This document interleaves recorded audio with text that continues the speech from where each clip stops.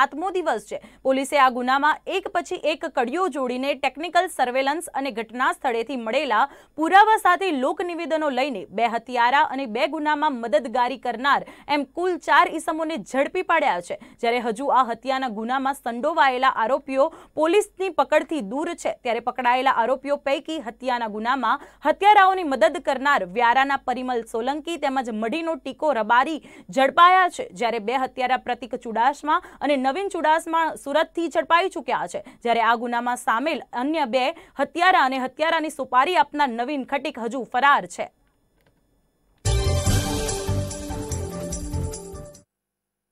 તરા ટાઉનમાં નિશિષ શાહની હત્યા થયેલી હતી, જેમાં તલવાર અને ચપ્પુનો ઉપયોગ થયેલો હતો. પંદરથી બાવીસ જેટલા ઘા કરી અને એમની ઉપર જીવલેણ હુમલો થયો હતો. અને ત્યારબાદ એમનું મૃત્યુ નીપજેલું હતું. આ ઘટનાની ચાર દિવસની તપાસ બાદ હુમલો કરનાર ચાર ઇસમોમાંથી બે ઇસમોની ધરપકડ કરવામાં આવી છે. આ ઉપરાંત ગુનોને અંજામ આપ્યા બાદ અને ગુનાને અંજામ આપ્યા પહેલાં ગુનામાં મદદગારી કરનાર ટીકો રબારી અને પરિમલ સોલંકીની પણ ધરપકડ કરવામાં આવી છે.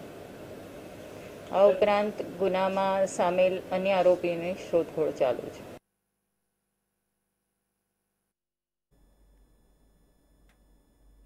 કોરોનાની મહામારીમાં ઓક્સિજન કોન્સન્ટ્રેટર મશીન વેચવાના બહાને કરોડો રૂપિયાનું કૌભાંડ કરનારા બે